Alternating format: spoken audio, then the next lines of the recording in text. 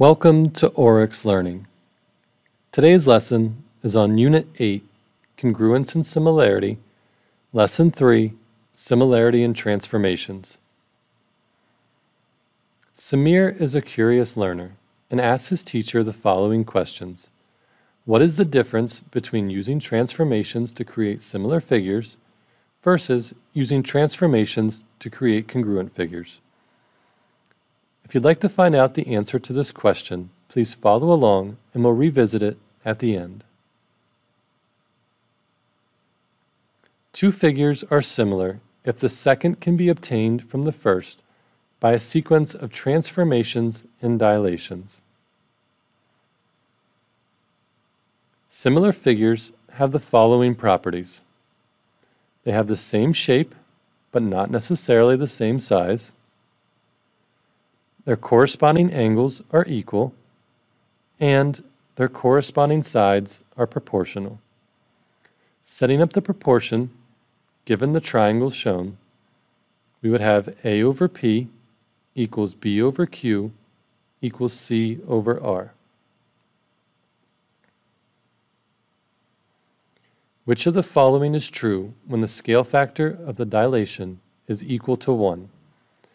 When the scale factor of the dilation is equal to 1, we are essentially multiplying by 1, which does not change the size of the figure. So the dilated figure is the same size as the original. Determine the scale factor from the smaller image to the larger image below. As we can see in the smaller image, the height is 2, and the height of the larger Im image is 6. In order to get from a height of 2 to a height of 6, we would multiply by 3. Therefore, the scale factor is 3. Which of the following is the correct similarity statements for the figures given? If the figures are not similar, circle not similar. Setting up our proportions, we would get CA over FD equals 10 over 15, or 2 thirds.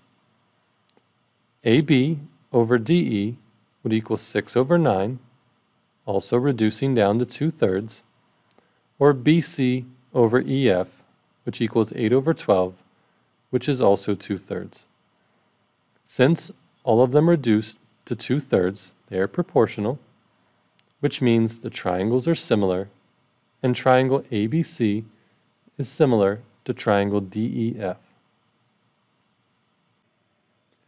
Determine if the two figures are similar by using transformations. If the figures are similar, fill in the blank below. Let's look at the orange triangle first. The orange triangle has a height of 2 and base of 3.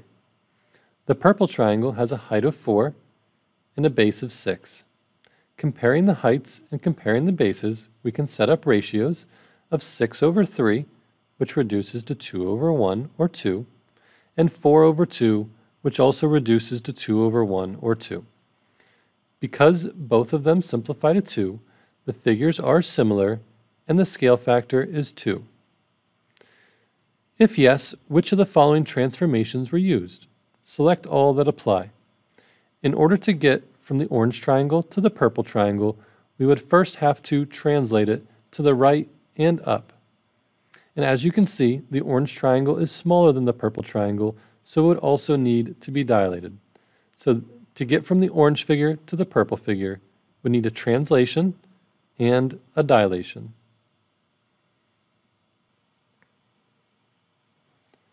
Megan owns a graphic design and print business. A client currently has a logo that measures 3 centimeters by 5 centimeters. In order to fit the t-shirt, Megan decides to enlarge it by a scale factor of 3. The client also wants a beach towel with a logo, which Megan decides to enlarge the t-shirt logo by a scale factor of 2. What are the dimensions of the logo on the beach towel? So the original dimensions are 3 by 5.